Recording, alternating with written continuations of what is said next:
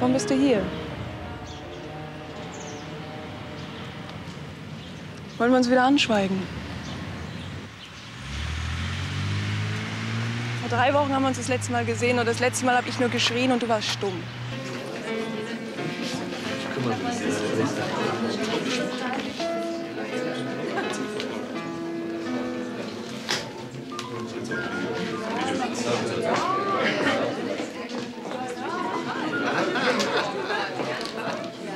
Ich mache klare Verhältnisse. Ich trenne mich wenigstens vorher.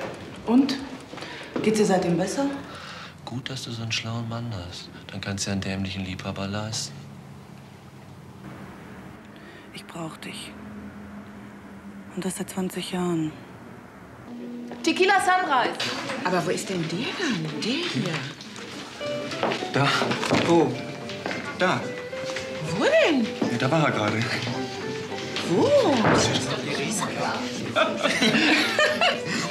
Du musst mir helfen, weil ich nach Hause muss. Ich muss nach Hause ein Kind machen.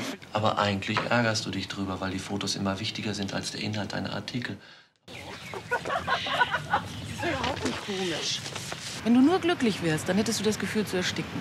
Das würde bedeuten, dass du keine Träume mehr hast und keine Wünsche. Jetzt hab ich euch doch wieder alle um mich rum. Hast du so mit bezweifelt? Meine Güte, kannst du nicht auch mal nett sein? Ich bin